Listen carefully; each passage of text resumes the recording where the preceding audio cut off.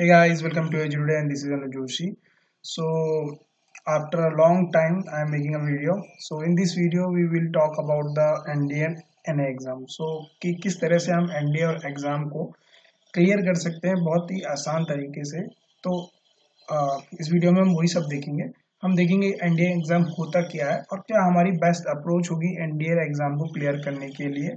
ये बहुत ज़्यादा एक मिसकनसेप्शन बना दिया गया है मार्केट में। बाय द कोचिंग सेंटर्स की एनडीए एग्ज़ाम बहुत ज़्यादा टफ होता है लेंदी होता है, इस तरह से। मैंने खुद ये एग्ज़ाम क्लियर किया है तो मैं आपको अपनी बेस्ट जो मेरी अप्रोच रही, मैं उसी तरीके से आपको समझाने की कोशिश करूँगा। तो एन डी के बारे में हम देखते हैं से ठीक है ना? तो उससे पहले ये मेरा व्हाट्सएप नंबर है nine zero four five eight four four five two three. अगर आपको कोई भी रिगार्डिंग होती है एन डी एन ए के एग्ज़ाम से या फिर एन डी एनडीए एनए की बी से related you can contact me on my WhatsApp number that is nine zero four five eight four four five two three and if you want to follow me on Instagram you can follow me on Instagram too there you will get quizzes world one W S quizzes okay and uh, vocab quizzes तो you will get there so you can follow me on Instagram too ठीक है? सो अब बात करते हैं NDN exam के बारे में। थोड़ा सा हम इसके ब्रीफिंग देख लेते हैं कि एनडीएन एग्ज़ाम के बारे में होता क्या है। तो सबसे पहले जो यूपीएससी होती है हमारी क्या होती है? UPSC union public service commission ये एग्ज़ाम को एनडीए एग्ज़ाम को कंडक्ट कराती है। तो एनडीए एग्ज़ाम क्या होता है? एनडीए एग्ज़ाम दो चीज़ों में हमारा एनडीए एग्ज़ाम क्या होता है? दो पार्ट में एक पार्ट फ़र्स्ट और एक पार्ट सेकंड में होता है। पार्ट फ़र्स्ट जो रहता है वो रहता है हमारा मैथमेटिक्स का। ठीक है ना? और जो पार्ट टू रहता है, वो रहता है हमारा जनरल एबिलिटी का। जनरल एबिलिटी क्या होती है? जनरल एबिलिटी में हमारा जो आपका एक तो इंग्लिश ठीक है ना? आपका G S that is general studies in the sense of general studies क्या होती हैं आपकी? जैसे आपको पता ही होगा हिस्ट्री जोग्राफी पॉलिटी है ना? तो हिस्ट्री जोग्राफी पॉलिटी इकोनॉमिक्स तो current affairs this all are the general studies and आपकी जो लास्ट में आती है, वो आती है जनरल साइंस जनरल साइंस से फिजिक्स केमिस्ट्री और बायोलॉजी ठीक है ना गाइस मैथ वहाँ पे कंसिडर आ चुकी है और यहाँ पे आपकी जो जनरेबिलिटी वो कंसिडर होगी। आपका जो आ, पेपर रहेगा वो बाईलैंग्वल रहेगा मतलब इंग्लिश को छोड़ के बाईलैंग्वल रहेगा मतलब हिंदी में भी आपको देखने के लिए मिलेगा और इंग्लिश में भी आपको आ, मिल जाएगा। ठीक है ना? लेकिन जो इंग्लिश रहेगी वो सिर्फ़ इंग्लिश में रहेगी। इंग्लिश को मत सोचना हिंदी में क्योंकि इंग्लिश है लैंग्वेज ओके सो so, उसके बाद जो मैथमेटिक्स पेपर रहता है वो कितना रहता है? 300 नंबर 300 मार्क्स का रहता है और इसमें क्वेश्चन कितने रहते हैं? 120 क्वेश्चन रहते हैं और 300 मार्क्स का क्या रहता है? आपका एग्ज़ाम रहता है। मतलब पेपर रहता है जो फ़र्स्ट पेपर रहता है आपका। उसके बाद जो जनरल एबिलिटी का टेस्ट रहता है वो 900 का रहता है 900 मार्क्स का। अब the return test will be of nine total अगर हम टोटल मार्क्स की बात करें तो कितने हो गए? देखो 300 मैथ्स के और 600 किसके हो गए? आपके जनरल एबिलिटी के हो गए दैट इज़ 900 मार्क्स और 900 में से मोस्टली जो कट ऑफ़ रहती है कि अगर आप 350 से अबव क्रॉस कर लो, आप 350 से थ्री फिफ्टी अबव क्रॉस कर रहे हो तो definitely you will get into SSB आपको एसएसबी के लिए कॉल आ जाएगी अगर आप 350 से अबव करते हो। जो टॉपर रहते हैं, जो एनडीए के टॉपर रहते हैं, वो अप्रोक्सली 600 टू 650 तक ही लेके आप आते हैं 900 में से तो you can also get but अभी हम, मेरा बोलने का मतलब क्या है? एटलीस्ट 350 अगर आप क्वालिफाई कर देते हो आउट ऑफ़ नाइन मतलब आप लेके आ जाते हो you will get 350 marks out of 900 तो definitely you will get a call of call for SSB आपको एसएसबी के लिए कॉल डेफिनेटली आ जाएगी. I am hundred one one and hundred ten percent sure कि आपके अगर साढ़े तीन सौ नंबर लेके आप आ रहे हो आप तो आपकी एसएसबी कॉल ज़रूर आएगी. ठीक है ना? आफ्टर द के आप जैसे ही एस आप रिटर्न क्लियर कर दोगे तो विद इन जैसे आपका रिटर्न का रिज़ल्ट आ चुका है तो within within a month you will get an a call letter in your email registered email आपको रजिस्टर्ड ईमेल में क्या हो जाएगा? आपको मेल आ जाता है कि you have to report on this this आपके उससे रहता है। ठीक है ना? अब थोड़ा सा क्राइटेरिया चेंज भी हो रहा है क्राइटेरिया चेंज हो रहा है that you have to register yourself on the website वो भी किसमें? सिर्फ़ आर्मी में आर्मी में आपको खुद को रजिस्टर्ड करना है। एयरफोर्स और नेवी में तो आपको you will get a direct call ठीक है ना? आपको डायरेक्ट कॉल आ जाती है कि आपको रिपोर्ट करना है इस दिन, इस इसमें मैं एयरफोर्स के लिए था तो उस समय कोई रजिस्ट्रेशन का नहीं था। सीधे हमको ईमेल में क्या होता था आपका रजिस्टर्ड ईमेल रहता था, उसमें आपको एक कॉल लेटर आता था। ठीक है, उस कॉल लेटर में आपको ऑल डिटेल्स रहती थी कि आपको क्या क्या लेके आना है क्या क्या आपके डॉक्यूमेंट होने चाहिए, आपको कब रिपोर्ट करना है है ना, कहाँ पे रिपोर्ट करना है। तो वो सब आपको एक ईमेल के थ्रू मिल जाता है। ठीक है, अब नेक्स्ट बात करते हैं। इट इज़ ऑफलाइन ये एक ऑफलाइन एग्ज़ाम होता है। आपको सिर्फ़ जाना है, आपको पेपर जाता है और क्या होता है, आपको एक ओमार शीट दी जाती है। है ना, आपको एक ओमार शीट दी जाती है ओमार में आपको ऑफलाइन देना होता है ये एग्ज़ाम तो टोटल नंबर में मैथ्स के, जैसे मैंने आपको बताया थ्री हंड्रेड मार्क्स का होता है। टोटल नंबर क्वेश्चन कितने होते हैं? वन हंड्रेड ट्वेंटी क्वेश्चन होते हैं। तो एक क्वेश्चन की एक क्वेश्चन मतलब अगर एक क्वेश्चन की वैल्यू कितनी हो गई आपकी? टू पॉइंट फाइव मार्क्स तो जब आप वन ट्वेंटी क्वेश्चन तो थ्री हंड्रेड मार्क्स चाहिए तो डिडक्ट कितना होगा? Marks deduct for wrong answer तो मार्क डिडक्ट मतलब अगर आपने एक क्वेश्चन गलत किया है तो आपके नेगेटिव कितने हो जाएँगे? Zero point eight five marks आपके क्या हो जाएँगे? नेगेटिव हो जाएँगे। और आपको कितना टाइम दिया जाएगा एक पेपर सॉल्यूशन करने के लिए तो आपको मिलेगा ढाई घंटा। Two and five two point five hour मतलब two hour thirty minutes you will get two hour thirty minutes to solve this question paper mathematics ठीक है? तो अब आप क्या हो गया? वन एक क्वेश्चन के ढाई मार्क्स मिल रहे हैं। एक क्वेश्चन गलत करने पे आपको ज़ीरो पॉइंट एटी फाइव आपके मार्क्स डिडक्ट हो रहे हैं और आपके क्या हो रहा है? Two point thirty two hour thirty minutes आपको क्या मिलेंगे? एग्ज़ाम को सॉल्व करने के लिए मिलेंगे। उसी तरह जनरल एबिलिटी का देखते हैं। टोटल मार्क्स सिक्स हंड्रेड के होते हैं जिसमें क्वेश्चन कितने आएँगे? वन फिफ्टी क्वेश्चन आएँगे। वन फिफ्टी आएँगे जिसमें से एक श्योर है कि आपको फिफ्टी क्वेश्चन किसके मिलेंगे? इंग्लिश के मिलेंगे। कितने मिलेंगे? 50 क्वेश्चन आपको इंग्लिश के मिलेंगे। और जो जनरल नॉलेज सेक्शन है जनरल नॉलेज सेक्शन है वो कितने आ, उसके कितने क्वेश्चन मिलेंगे? 100 क्वेश्चन मिलेंगे। जनरल नॉलेज में आपका क्या आ जाएगा? जनरल स्टडीज़ आ जाएगा और जनरल साइंस आ जाएगा भाई। याद रखना, ठीक है ना? तो मैं, अब देखो यहाँ पे इसमें क्या होता है? डेढ़ सौ क्वेश्चन है तो मतलब एक क्वेश्चन की वैल्यू कितनी हो गई? फोर मार्क्स तो मतलब एक क्वेश्चन जो होगा आपका, उसकी जो वैल्यू होगी वो कितनी होगी? फोर मार्क्स होगी। ठीक है ना? तो याद रखना तो 50 क्वेश्चन इंग्लिश के हो चुके हैं तो 50 इंटू फोर करेंगे तो कितना आ जाएगा? 200 मतलब 200 मार्क्स की आपकी इंग्लिश आ जाएगी। Maximum marks of GK maximum mark of GK मतलब आपके जो जीएस और प्लस जनरल साइंस जो हो गई आपकी जनरल स्टडीज़ पर जनरल साइंस हो गई, वो कितने हो गई है? 400 मार्क्स की हो गई है, क्योंकि इसके 100 क्वेश्चन है और इसको हम चार से मल्टीप्लाई करेंगे तो 400 आ जाएँगे। Marks for the correct answer आपको चार नंबर मिलते हैं। अगर आप एक क्वेश्चन सही करते हो तो four you will get four marks अगर आप एक क्वेश्चन गलत करते हो तो आपके क्या हो जाएगा? 1.33 मार्क्स आपका डिडक्ट हो जाएगा। ठीक है ना? चाहे वो आप इंग्लिश के सेक्शन की बात कर रहे हो या आपके जीएस सेक्शन की बात कर रहे हो। तो आपके डिडक्ट कितने होंगे? Minus one point three three इस बात को ध्यान रखना और इस एग्ज़ाम को भी आपको सॉल्व करने के लिए two point two hour thirty minutes मिलेंगे ढाई घंटा मिलेगा आपको इसको सॉल्व करने के लिए, ठीक है ना? तो कई बार क्वेरी क्या जाती है कि, सर, अगर हम जनरल साइंस की बात करें जनरल साइंस के बारे में बात करें तो किसके ज़्यादा पोर्शन देखने के लिए मिलता है? तो याद रखना फिजिक्स का जो ज़्यादा पोर्शन होता है, उसमें फिजिक्स के ज़्यादा क्वेश्चन देखने के लिए मिलेंगे आपको, है ना?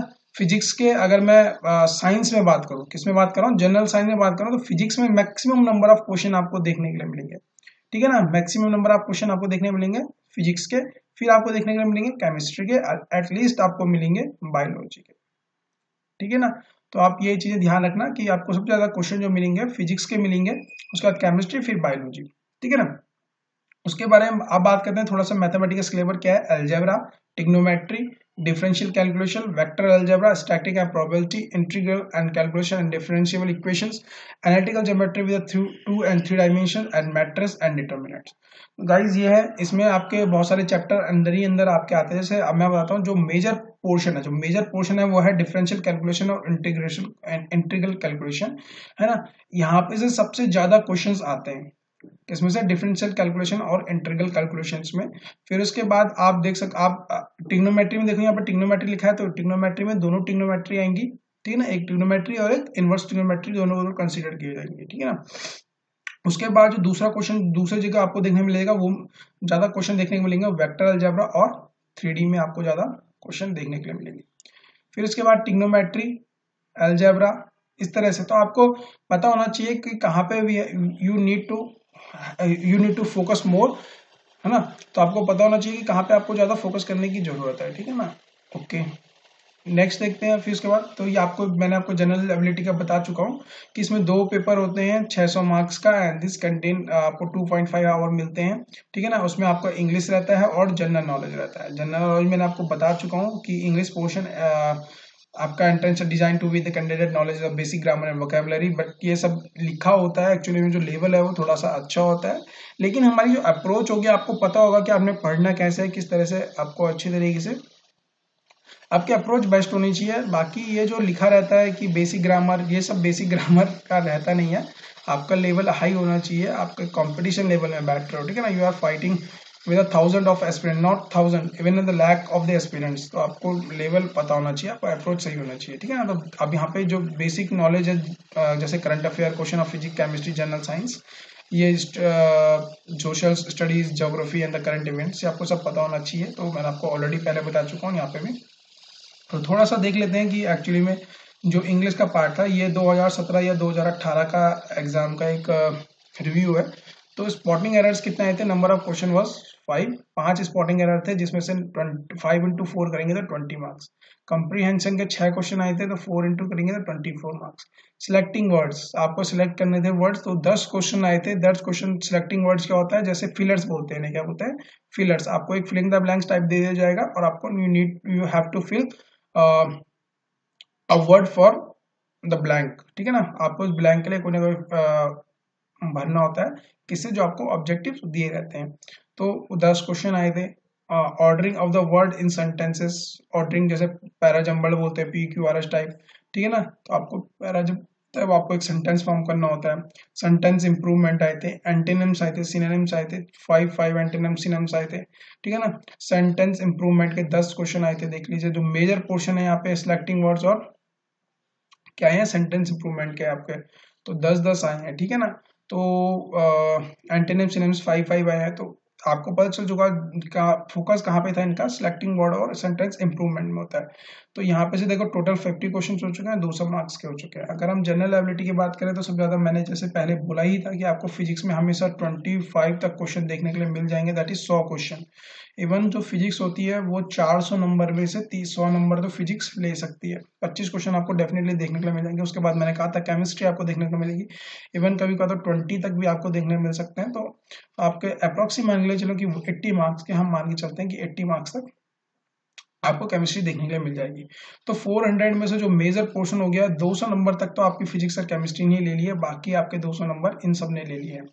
तो आपको देख अब आपको थोड़ा सा बहुत आइडिया लग चुका होगा कि कहाँ पे आपको फोकस करना है और किस तरह से करना है। अब ये तो थी हमारी बेसिक सी बात अब मैं थोड़ा सा आपको एक चीज़ समझा देता हूँ कि जितना भी हैवक मार्केट में रहता है कि आ, कि भाई एनडी का एग्ज़ाम टफ होता है है ना? आप नहीं कर सकते क्लियर तो आराम से कर सकते हो देखो। देखो मैथमेटिक्स है। ठीक है ना? मैथमेटिक्स में अगर मैं आपको ना आप, आप मेरी बात समझना। मैथमेटिक्स में कितने क्वेश्चन है? डेट्स वन ट्वेंटी क्वेश्चन है। और एक क्वेश्चन की वैल्यू एक क्वेश्चन की value two point five marks है। हाँ एक और चीज़ याद रखना। ठीक है? इसमें आपको एक जनरल कट ऑफ़ रहती है। एक जनरल कट ऑफ़ रहती है। जनरल कट ऑफ़ मतलब आपको वो कट ऑफ़ वो कट ऑफ़ क्लियर करनी ही करनी होती है है ना? अगर आप वो कट ऑफ़ क्लियर नहीं कर पा रहे हो पर्टिकुलर किसी सब्जेक्ट में जैसे सपोज़ कि इसका मैथमेटिक्स बहुत अच्छा हो मैथमेटिक्स क्लियर पा रहा है लेकिन आपका आ, आपका क्या होता है आपका सपोज़ जीएस उसका अच्छा नहीं है वो जीएस में नहीं कर पा रहा है तो इस तरह से वो मैथमेटिक्स तो कर रहा था लेकिन जीएस में वो एक मिनिमम अमाउंट नहीं लेके आ पा रहा है नंबर की है ना? आ, तो क्या हो जाएगा? फेल हो जाएगा उस चीज़ में। तो आपको ये भी ध्यान रखना है। तो मिनिमम जो मैथमेटिक्स के लिए जो है, मैं आपको लिख देता हूँ। मैथमेटिक्स के लिए वो नाइन्टी मार्क्स है। ठीक है ना? नाइन्टी मार्क्स है। और जो आपका जी ए है जी ए है, वो वन एटी मार्क्स है। ठीक है? नाइन्टी मार्क्स और एट्टी मार्क्स मतलब मैथमेटिक्स में आपको नब्बे नंबर तो लाने ही लाने और जीए में आपको वन ट्वेंटी लाने और आप अगर इन दोनों को ऐड करो तो ये आ जाएगा टू सेवेंटी मार्क्स मतलब 270 मार्क्स तो आपको दोनों में मिला के लाने ही लाने। लेकिन जो, अब जो कट ऑफ़ बनती है कट ऑफ़ मैंने क्या बोला आपको कट ऑफ़ के लिए कितना लेके आना है? अप्रोक्सीमेटली 350 मतलब आपको इसमें से अगर आप 270 मार्क्स अगर मिनिमम भी लेके आ रहे हो 80 भी आप ले रहे हो तो 350 आ जाता है। ठीक है ना? तो ये तो थोड़ा समझने की बात है अब देखो मेरी बात। आप अगर मैथमेटिक्स में 120 क्वेश्चन आ रहे हैं अगर आप 120 क्वेश्चन में से 60 क्वेश्चन भी कर दो कितने क्वेश्चन 60 क्वेश्चन भी कर दो और 2.5 से करें हम। तो आप कितने जाएगा? 150 मार्क्स आप आराम से मैथमेटिक्स में लेके आ सकते हो अगर आप 60 क्वेश्चन भी अटेम्प्ट करते हो करेक्ट है ना? तो 150 मार्क्स आप आराम से लेके आ सकते हो। जीए की बात करें तो जीए में कितने क्वेश्चन होते हैं? 150 क्वेश्चन होते हैं और एक क्वेश्चन की वैल्यू होती है फोर मार्क्स फोर मार्क्स अगर आप इसमें भी 60 क्वेश्चन भी कर दो, अगर आप इसमें 60 क्वेश्चन भी कर दो तो कितना हो जाएगा? Three two forty two forty 240 आप आराम से लेके आ सकते हो और 150 और 240 को मैं अगर आपको 390 अप्रोक्सीमेटली 400 मार्क्स आप आराम से ला सकते हो और आप एनडीए एग्ज़ाम आराम से क्लियर कर सकते हो। अब मैं तो ये अप्रोक्सीमेटली लगा रहा हूँ कि 150 में से 60 मार्क्स आप 60 क्वेश्चन कर दो आप, है ना? या फिर आप 120 क्वेश्चन में से 60 क्वेश्चन कर दो। तो डेफिनेटली आप आराम से क्लियर कर जाओगे। सपोज़ आपकी मैथ अच्छी नहीं है तो चलो मैं 50 यहाँ पे उसको 40 कर लेता हूँ। 40 फोर्टी टू अगर मैं सपोज़ ये मांगे जाता हूँ कि आपकी मैथ अच्छी नहीं है और आपकी मैथ अच्छी नहीं तो आपने 140 किया। तो आप डायरेक्टली सिर्फ़ सौ नंबर लेके आए इसमें। तो आपने, आपकी अगर मैथ सही नहीं है तो आप जीएस में भी अगर आप क्या करते हो जीएस में आपने सिक्सटी की जगह आप सेवेंटी क्वेश्चन कर लो। साइन फॉर टू एट्टी तो 280 करेंगे तो क्या हो जाएगा? आपका 380 तभी भी आप आराम से एक पेपर को क्लियर कर सकते हो एनडीए का एग्ज़ाम का। इसमें हमें बहुत ज़्यादा टेंशन लेने की ज़रूरत नहीं है। बहुत ज़्यादा अपने आप के ऊपर डाउट करने की ज़रूरत नहीं है कि नहीं यार एनडीए का एग्ज़ाम बहुत ज़्यादा। मैंने बहुत सारे बच्चे देखे हैं देहरादून में, जो कोचिंगों के गूगल पे सर्च करते हैं कि बेस्ट कोचिंग इन देहरादून और देहरादून में फाइंड आउट कर लेते हैं और क्या होता है, जब वो यहाँ पे आते हैं, तब देखते हैं हार्स रियलिटी कि यहाँ पे क्या होता है, आपका पोपट बनाया जाता है सिर्फ़। है ना? एक हार्श रियलिटी जो है यहाँ पे देहरादून मार्केट की, वो है एकदम आपको बेवकूफ़ बनाना। और मोस्टली जो यूपी बिहार, इस साइड के एमपी के जो बच्चे हैं, वो ज़्यादा इसके उसमें आ जाते हैं। तो देखो एनडी का एग्ज़ाम बहुत ज़्यादा टफ नहीं है, आपको बहुत ज़्यादा पढ़ने की ज़रूरत नहीं है बट एक strategically you have to follow schedule आपको हर दिन आपको पता होना चाहिए, मुझे कितने क्वेश्चन पढ़ने हैं, मेरा क्या स्ट्रॉन्ग पॉइंट है where have to need more focus है ना? ये सब चीज़ें पता होना चाहिए और आप आराम से निकाल सकते हो। तो पहला चीज़ क्या है बिलीव इन योर सेल्फ कि हाँ मैं कर सकता हूँ यार। ठीक है ना? अपने ऊपर विश्वास रखो हमेशा कि मैं कर सकता हूँ चीज़ों को और मैं करके रहूँगा but I need an strategy I need an strategy आपको एक स्टडी की ज़रूरत है, और देखो यहाँ पे मैंने आपको समझाया ना, आप आराम से निकाल सकते हो। इसी तरह मैंने भी एनडीए का एग्ज़ाम निकाला था।